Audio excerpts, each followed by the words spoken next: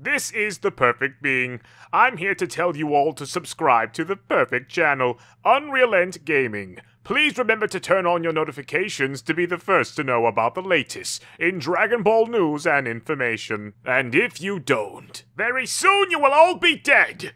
Along with your entire planet. The evil Emperor of Universe 7 has finally returned, only to encounter an obstacle placed in front of him, courtesy of Universe 9's God of Destruction Sidra, and sending an army of assassins to destroy Frieza, but with Goku there willing to back Frieza up, the two engage the army head-on, as for the very first time in history, we witness Frieza and Son Goku working together to fight for a common cause. What's going on Dragon Ball fans? Welcome to my Dragon Ball Super episode 95 review entitled The Worst, the Most Evil Frieza's Rampage leading into next week's exciting episode of Dragon Ball Super episode 96 in which we will finally begin to head out to the World of Void to begin the Tournament of Power in which this was a very highly requested episode from many fans within the community just because of seeing Golden Frieza return since the glory days of ROF and seeing him in combat. But a quick plug before we begin if you guys are new to this channel channel, be sure to go on ahead and punch that subscribe button for more news, information, updates, and of course discussions alongside gameplay reviews for all forms of Dragon Ball content. And make sure to also go on ahead and punch that bell icon.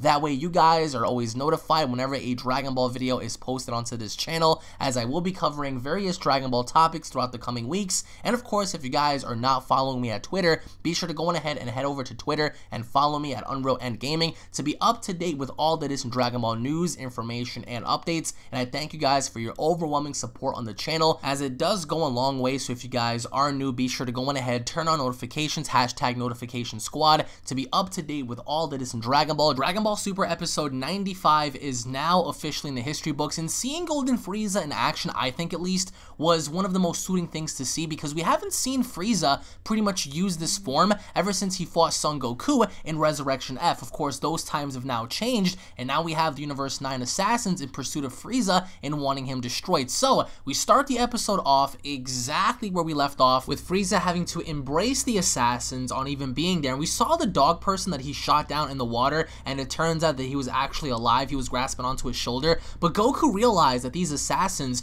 are not from universe number 7 in the fact that Goku has figured out that these guys are from another universe and they brag about how hardcore their universe is and Frieza is very glad to hear that these fighters come from a quote-unquote quote difficult and tough universe because the entire time that he was down there in hell, we get to see a recap of how he was being tortured by all the teddy bears and stuff, and we see him begin to power up, and I think that Frieza in this episode displayed raw, unmitigated power. I mean, it's pretty cool to see Frieza on the offensive this time, and I will say, the first time he powered up with all the golden aura around him, even Goku himself was very, very shocked and surprised as to how powerful Frieza is, and once Frieza rushed in and he started attacking these assassins, these assassins realized that they were screwed. Why? Because they were trying to get away and Frieza was shooting these beams out of his fingers and these beams were following the assassins and Frieza went on a massive genocide spree. He legitimately tortured and hunted down everybody by himself,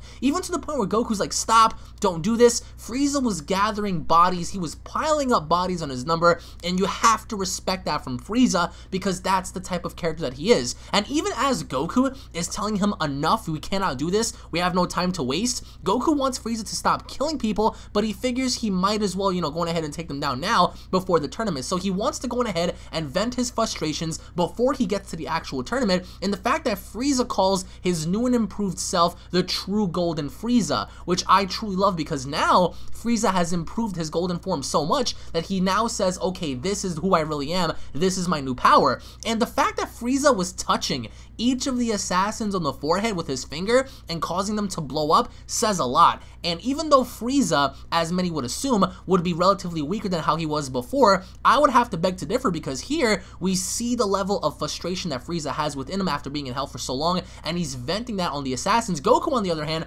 he's kicking people, he's punching people, but he's not killing them until he steps in front of Frieza and he's telling him, listen, you need to relax, you need to stop this because this is getting out of hand. And clearly it is clearly you can tell because of the idea that Frieza is just venting all of his hate for Goku after being down there and whatnot. But we get to see a bit of a recap as Sidra hands over one of the dog assassins, you know, like this energy ball. And that was the same exact energy ball that we saw in the teaser because a lot of us were assuming that maybe Frieza was going to get killed off or whatnot. But the very person that, you know, was shot down by Frieza, he begins to, you know, pretty much harness that energy ball, but he doesn't want to get noticed. And all of a sudden, Frieza turns around and he spots him. And as he spots him, that's when things get ugly because Sidra gave the dog guy some sort of like destruction like energy ball in the idea that it was supposed to be used in order to fully destroy Frieza before the Tournament of Power actually begins. That was the entire plot. So we get to see how right then and there, I mean, this entire thing was orchestrated because as we see the dog guy try to unleash this blast upon Frieza, and it was at that moment that he finally threw the blast at Frieza, and we see how he pretty much outmaneuvers Frieza, and he counters the first one, but at that very point, he shoots away the very blast that was in his hand. So this dog guy, I mean, I, he, he was fodder. He was fodder the entire time. I did not like him, but of course, he had a plot, and he raised his hand up in the air, and that was when Frieza was trying to deflect the blast, and, and the realization that this move comes from a Hakaishin. So we see Frieza struggling, and he was trying to, you know, deflect the blast away because we realized right then and there that if this blast were to fully engulf Frieza, he would have been destroyed. And what's cool about this is we see Frieza struggling against this blast. And that is something that I truly enjoyed because it wasn't something that, you know, I wanted to see Frieza completely destroy. But at a certain point, we see how the blast begins to engulf Frieza. And Frieza is in pain. He's screaming. But then, then we see Frieza as he's screaming, as he's in in this entire blast, he begins to say, you know, uh, this destruction energy cannot deflect me because then Frieza begins to power up. And what's crazy about this is I just realized that Frieza survived an attack from a Hakaishin. Like, how is that even remotely possible? It's just like, Frieza? Really? And he took the blast and he condensed it, and then what he did from there was he enlarged the energy ball. And I loved how Frieza struggled, but I did not like how a move from a Hakaishin was able to be negated and deflected by Frieza. Although, you have to give Frieza credit for being, you know, stronger than how he was before, he finally took all the energy that Sidra threw at him in the form of that ball due to the dog guy, and he, he condensed it right back to where it was, and then he held on to it. And then right then and there, without even wasting any more time, he held the ball and he shot the dog guy in the chest. And I love how Frieza was kind of out of breath because this, this took a lot of energy to go ahead and condense. And Goku Goku was shocked. So I will say, in my opinion, based on what I saw, Frieza in this episode, I think, is much more powerful than how we saw in ROF. That goes without question. Whether whether or not you guys agree or disagree, those are the facts because of what we saw in this episode based on negating a God of Destruction's attack. But this is what I find interesting in the fact that Goku is actually quite surprised and he asks Frieza like, what is this? And Frieza having to say, this is pure energy. Energy from a God possibly, probably a god of destruction. And Goku tells the assassins that Universe 7 won't run or they won't hide, they'll settle things in the Tournament of Power, but these assassins aren't really having it. But I love the engagement between Goku and Frieza because even though, even though they're arch nemesis and they're both rivals, we see how just for a moment they're actually getting along and Goku asking him questions and Frieza having to respond back without being such an asshole. Until of course he gives Goku the attack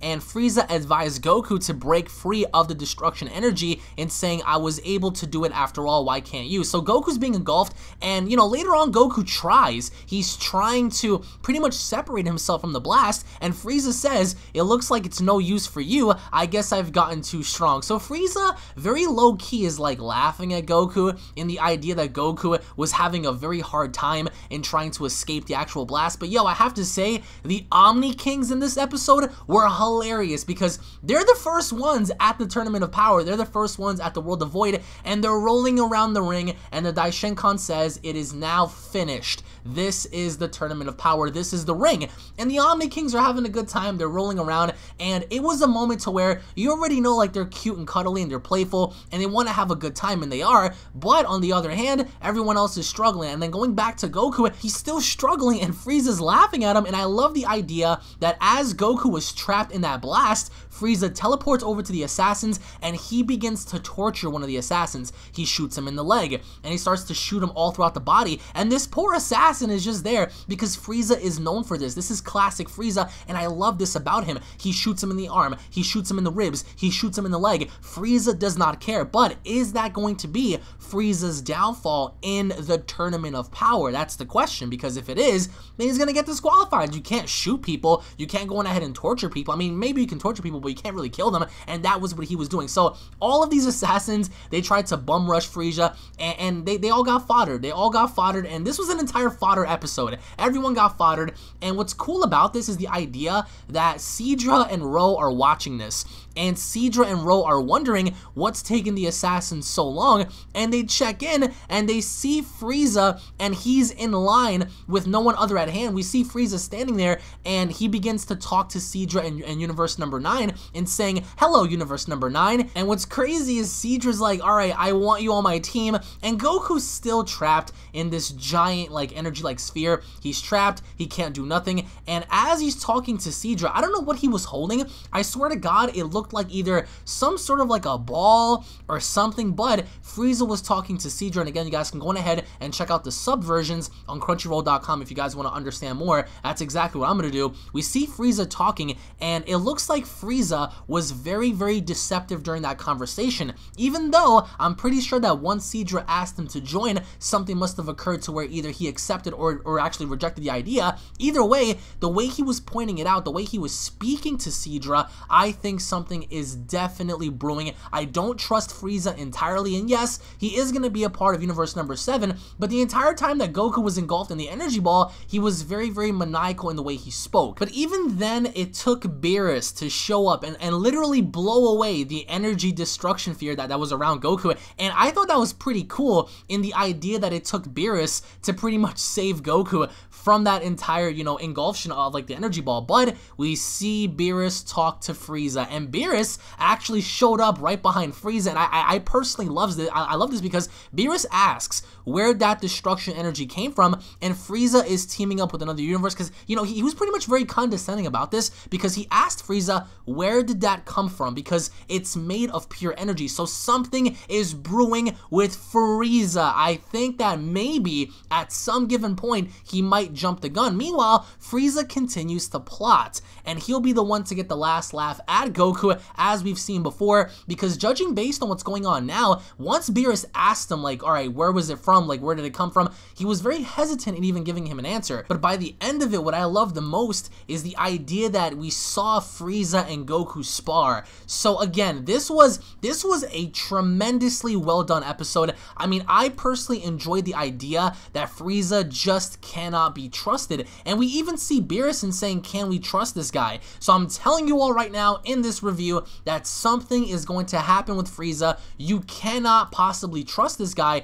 based on his demeanor, based on the way he carried himself with Beerus. He didn't show any fear with Beerus as he was talking to him. So by the end of this, I think Frieza is going to cost the team something big time. But nevertheless, Super Saiyan Blue Goku, Golden Frieza, they battled it out. And momentarily, for like the moment like it was there, it was incredible. However, I do not like the idea that we see Frieza kind of keeping up with Goku at this point because Goku has gotten so freaking strong by, by, by the long run in fighting Universe 6 fighters and stuff. It was incredible, but you have to give props for Frieza. I loved this episode, and I'm pretty sure you guys did as well. But I would like to know what you guys think down in the comment section below. What are your overall thoughts on Golden Frieza in this episode? What are your overall thoughts on Son Goku and the he made in this episode? What are your overall thoughts as to how the episode played off? Do you guys think that the assassins were a bit too easy sort of like pushovers having to be seen in this episode, or do you think it was more than fitting, especially now having to set up in what's going to happen within the Tournament of Power, starring Jiren, the Pride Troopers, Topo, Dispo, Hit, Kale, Caulifla, Cabba, you name it, they got it. So post your comments down below, guys. Thank you all for watching. If you guys enjoyed the episode, if you guys are hyped for Dragon Ball Super episode 96, go on and slap a like on the video. If you guys are new to this channel, feel free to go on ahead and subscribe for more Dragon Ball news, information, and updates alongside discussions and reviews. Thank you all for watching. Tune back in for the breakdown review, and I'll be seeing you all down the comment section below. Have a great night, guys. Peace.